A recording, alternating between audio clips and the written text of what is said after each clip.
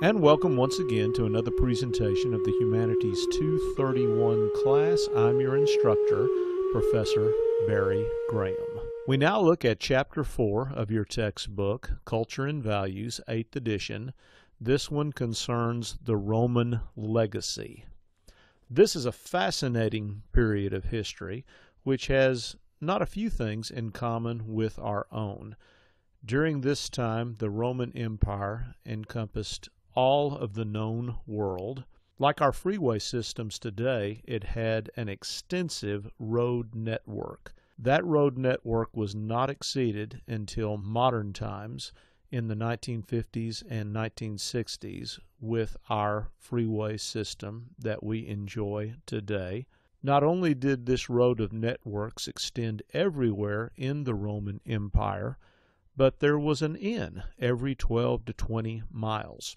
You'll recall the story of the Good Samaritan, perhaps in Scripture, where upon finding this hurt man, he took him to a nearby inn. This made traveling so much more safe because there was a place to stop, rest, get refreshments, and continue on your journey. This was a 62,000 mile system of roads, really unheard of in ancient times. There was a common language the Koine Greek. It's no wonder that in our own New Testament scriptures that it's called the fullness of time when Jesus comes into this world.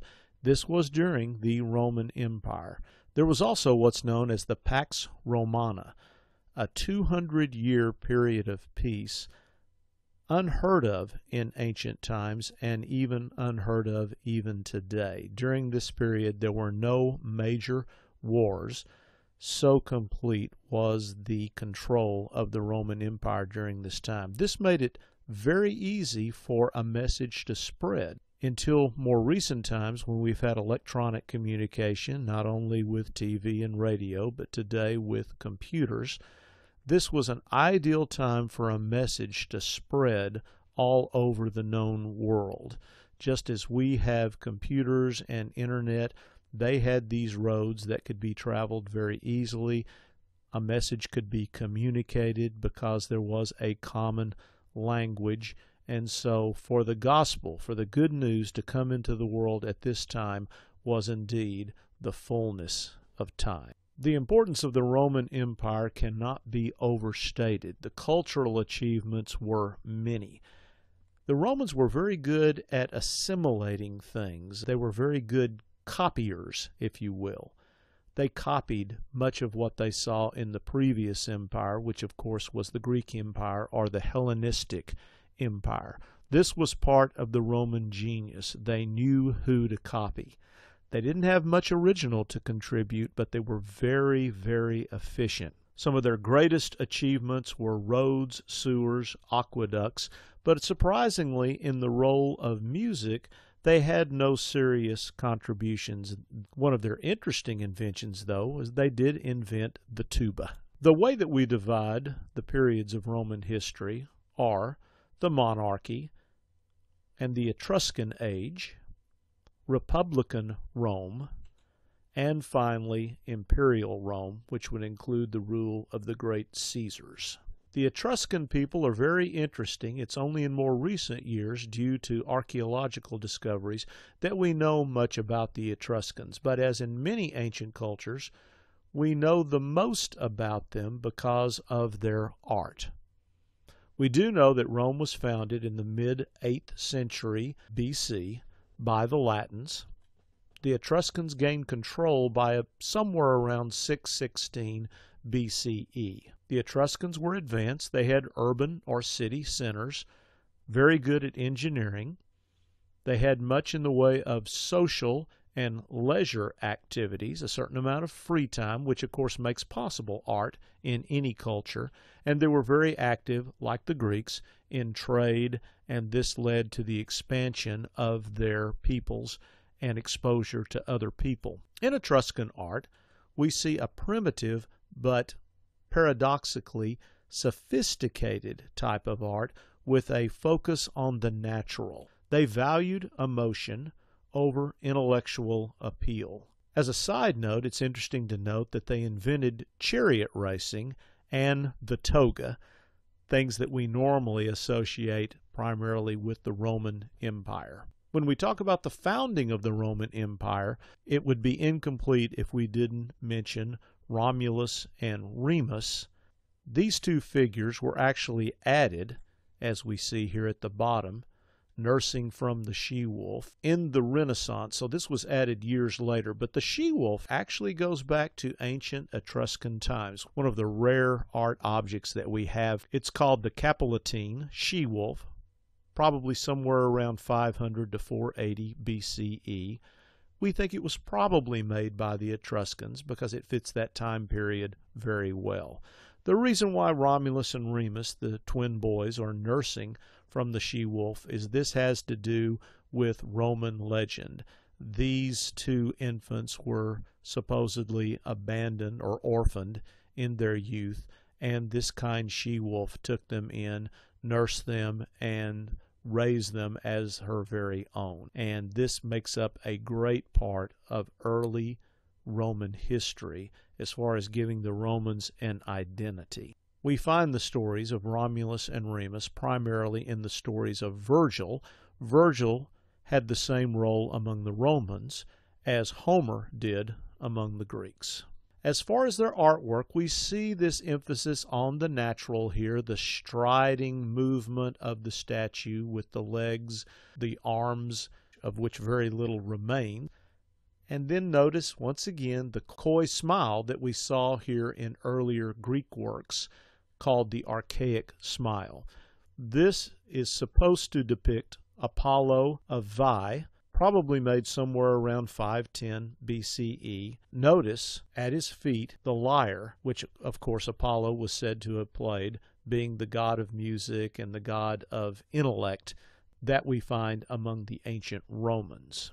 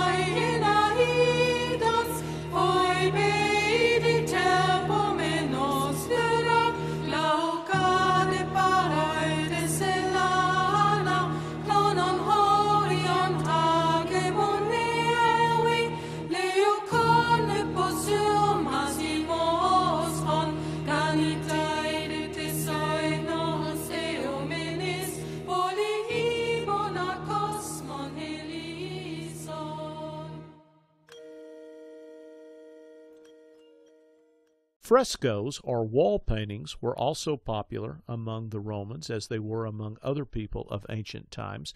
Here's a wall painting from the tomb of hunting and fishing. Again, notice this emphasis on the natural with the birds flying. Here's a, a genre scene of the fishermen and things of this nature. And then the porpoise over here, which is very interesting. The next period we'll enter into will be Republican Rome.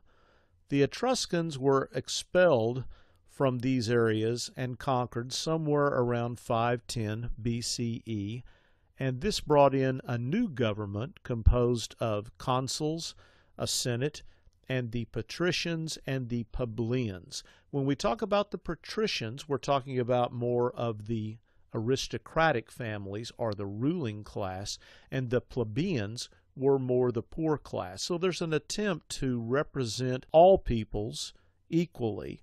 Of course, as we mentioned with the Greeks, we must keep in mind that we're only talking about free male citizens. Women, slaves, children, they don't have any rights. But we do see a certain amount of political equality and an attempt at a balance of power. And that brings us to Hortensian law. The plebeians had an assembly with decisions binding on the entire Roman people. And so this was rather revolutionary to give this much power to common people.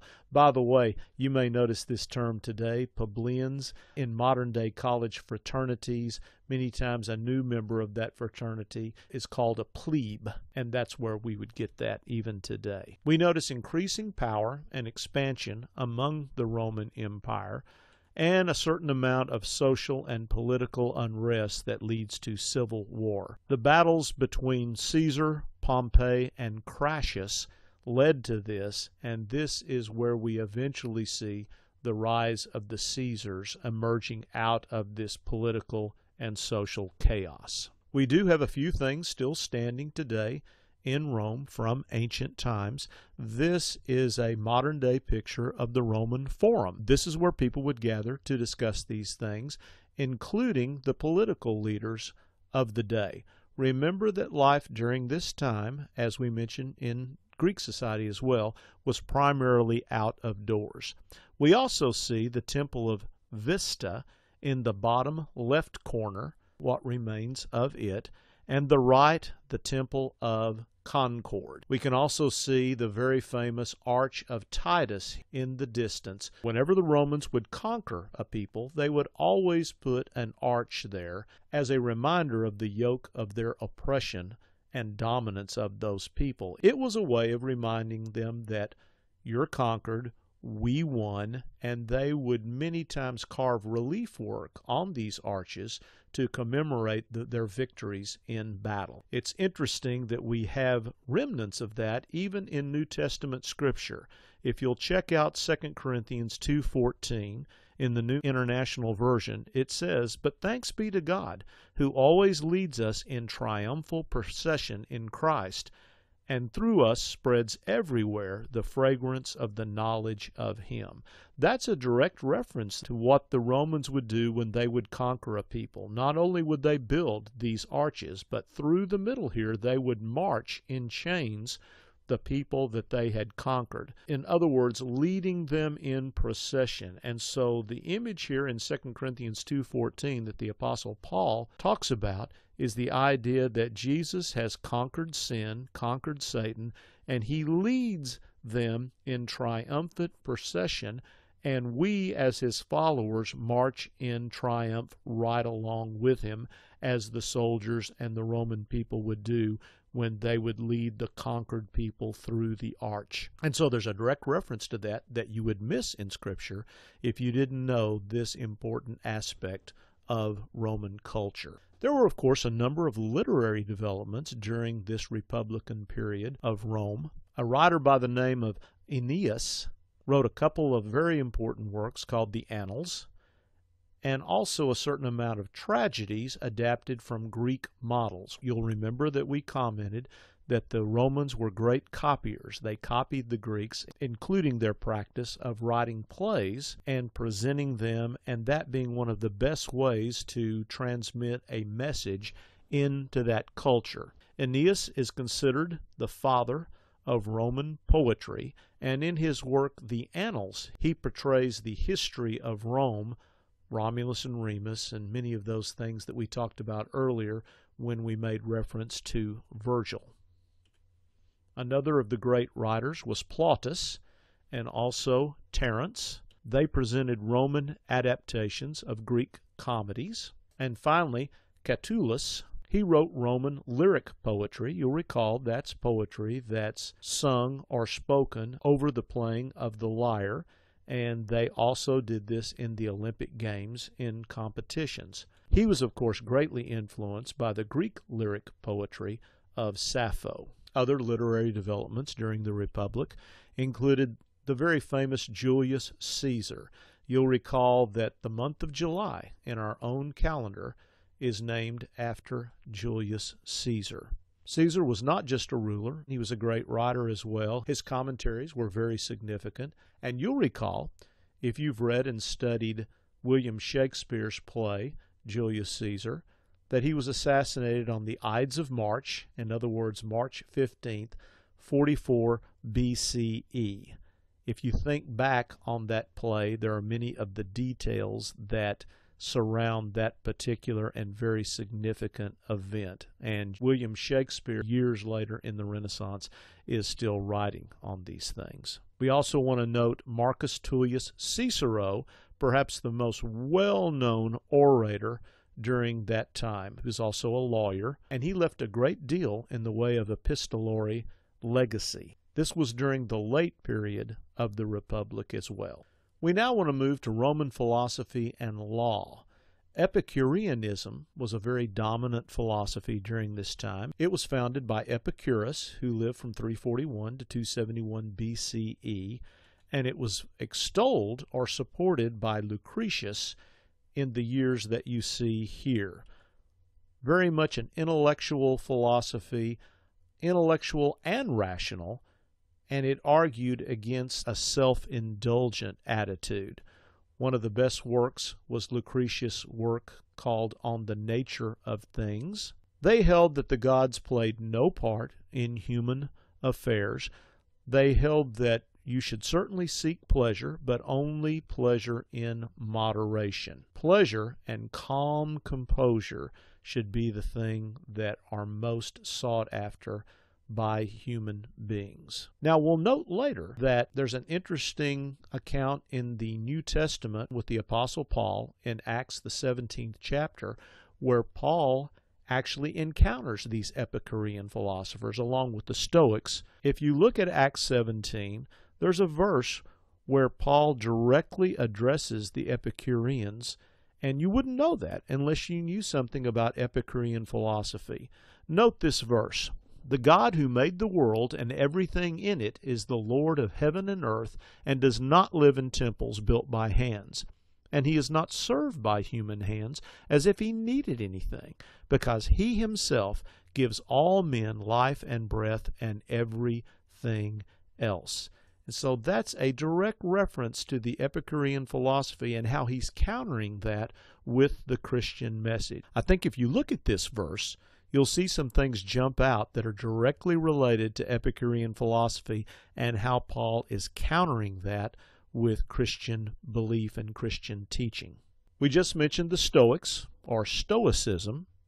They held that the world was governed by divine reason and that there was a role of divine providence in all of this.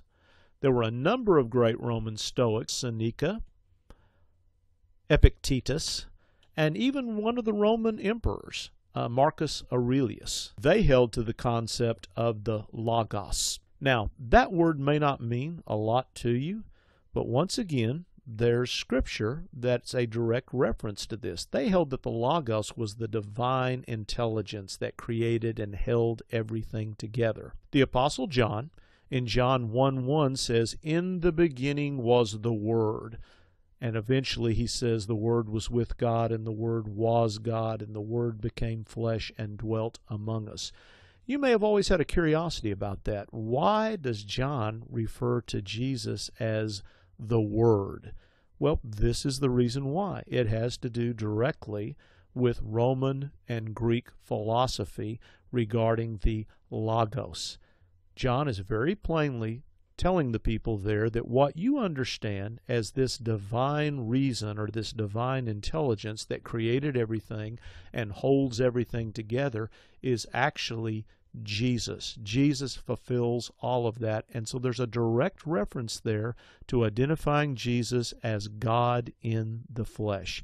And this is very important because you may run into people sometimes that say, well, you know, in the Bible, Jesus never really claims to be God. Well, that's actually not true. If you look in John, the eighth chapter, Jesus directly says, Before Abraham was, I am. He's using a term there that Jews only use to refer to God, that phrase, I am. So Jesus definitely did claim to be God by using what the Jews called the tetragrammaton. Google that term sometimes and you'll find it very, very interesting. So, not only does Jesus claim to be God, his followers who walked with him and had a direct relationship with him also claimed that he was God, the second person of the Trinity. And that's why John says, In the beginning was the Word. The Greek word there is actually logos. In the beginning was the logos. Once again, if you go to Acts 17, there's a verse there where Paul makes direct reference to this in his teaching as he addresses both the Stoics and the Epicureans. In verse 30 of that chapter, it says, In the past, God overlooked such ignorance, but now he commands all men everywhere to repent. For he has set a day when he will judge the world with justice by the man he has appointed. He has given proof to this to all men by raising him from the dead. That's a direct reference there to Stoic philosophy. And if you'll do some examination on that, I think you'll find that certain parts of that verse will jump out at you. Continuing with Roman philosophy and law, in Julius Caesar's Il Civile, this is a single unified code of civil law. We're beginning to see a modern concept of law evolve out of this. Also, the law of the 12 tablets. We also see Justinian's Corpus Juris Civilis. The Roman science of law begins to grow out of this, and there are legal experts, people who we today would call lawyers, and even a system of natural justice. It's important for us to remember that one of the few original Roman contributions that we see historically is a concept of law. So, as we said earlier, even though the Romans didn't do much in the way of original things, this was an exception to that. We'll then proceed to Republican art and architecture. What contributions might the Romans have made here during this Republican period of government? Well, one of the things was the Roman portraiture we see some beautiful examples of this. Realistic details. They tend to express outer appearance and inner characteristics. It tends to be propagandistic. In other words, it's making the ruler look very, very good in order to communicate a certain image to the people, which is what politicians, generally speaking, are prone to do anyway. This was pioneered by the earlier Etruscan people, and it tended to be a psychological expression of these individuals. Architecture, as well, was used as a political medium. These great public buildings were built to exemplify the glory of the leaders. And that's why these styles of buildings, even today, are used in our own governmental buildings and even banks sometimes to express stability. And this is a place that you can feel safe investing your money. A good example of that is this bust of Cicero, the great Roman lawyer that we referred to earlier, and notice how thoughtful and preoccupied he looks here. Cicero is portrayed in a way that's very flattering to him. Our look at imperial Rome begins in the year 31 BCE. Immediately before this time, as we referred to earlier, Caesar is assassinated in 44 BCE on the Ides of March, as in the William Shakespeare account of it. We also have the Battle of Actium, which occurs in this important year of 31 BCE. This is when Octavian fights Mark Antony in an inter Roman battle. You'll remember Mark Antony as the famous lover of Cleopatra. Cleopatra, of course, being one of the Greek Seleucid rulers there in Egypt. Octavian then is inaugurated as Augustus in 27 BCE. You'll note that Augustus actually has two months of the year named after him. He is so significant. October in Octavian, as we've noticed, and August in Augustus.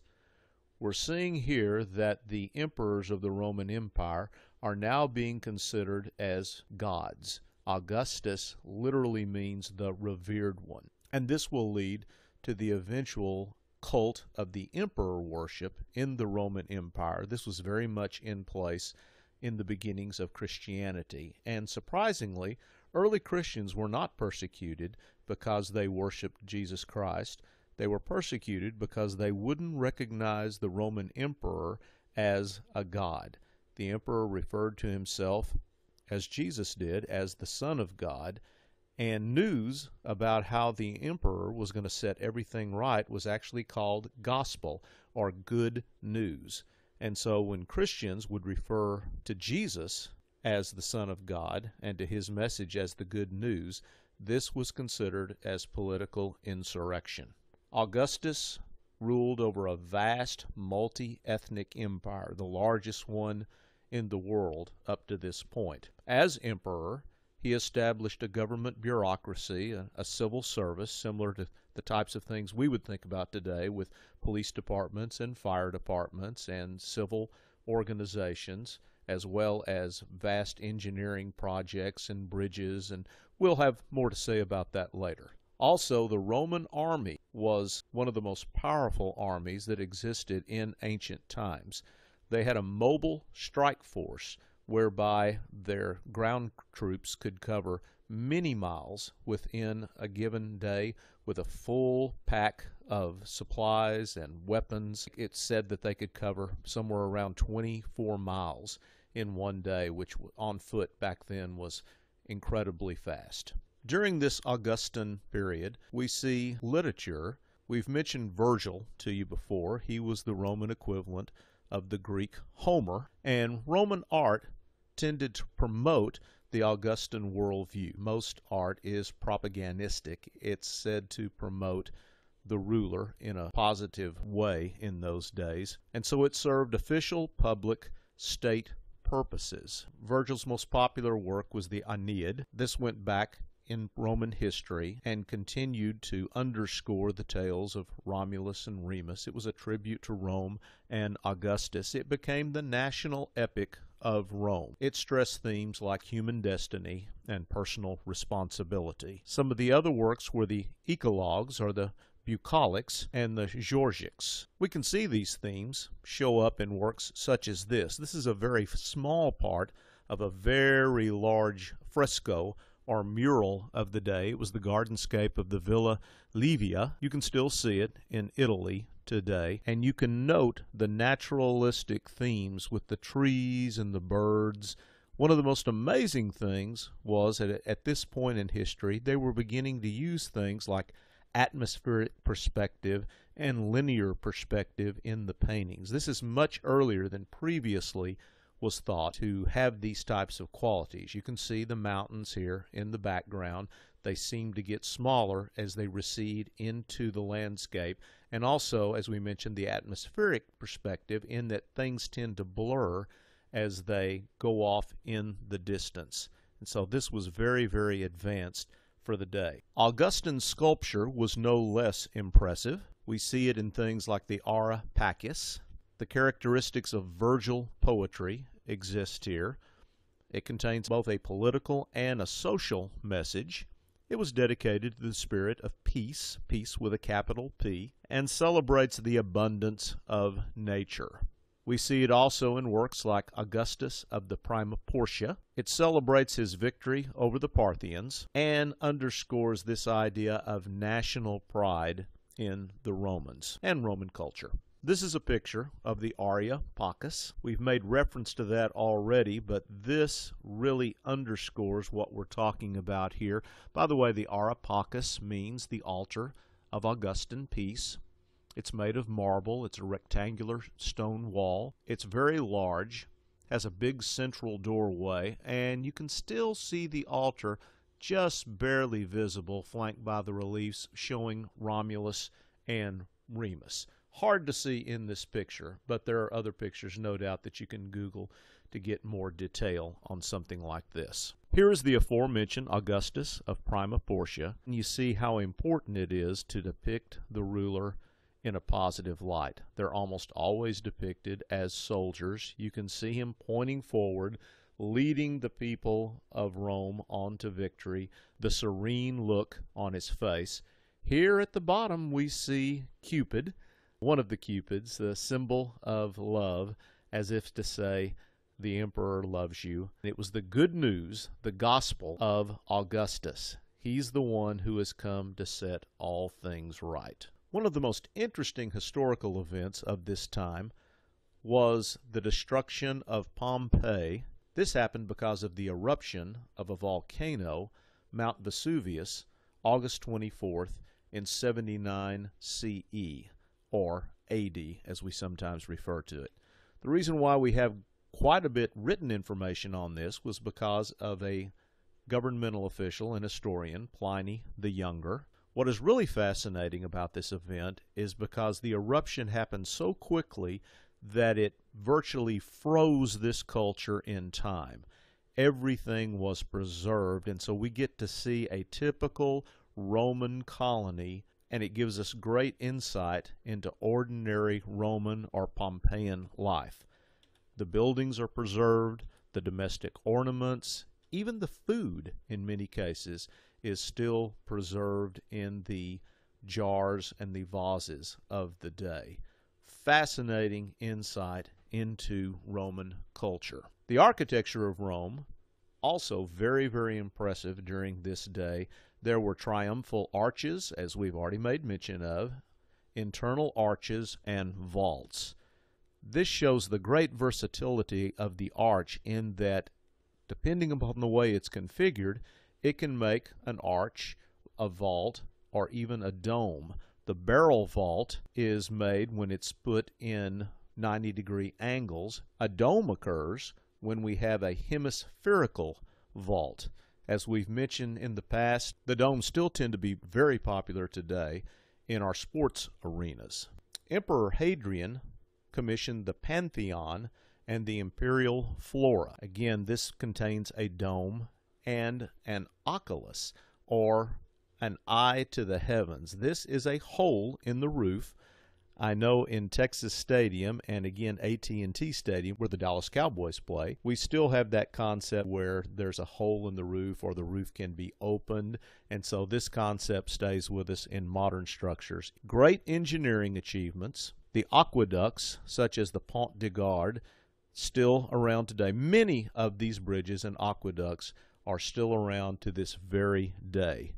And covered sewers. We take this for granted, but if you go back even a couple of hundred years ago in European countries, they did not have covered sewers. This made for a great stench, but they had them in ancient Rome, way ahead of their time. Wanted to show you a few depictions of the triumphal arch, the barrel vault that we made mention of. And over here in the very famous Roman Colosseum, you see the use of the arch to support great amounts of weight. By the way, the Romans didn't invent concrete, but they certainly perfected the technique of using it. This portion of the Colosseum is still in the city of Rome today, and this was, of course, where they held some of the many gladiatorial contests that you see in movies such as, well, not surprisingly, Gladiator.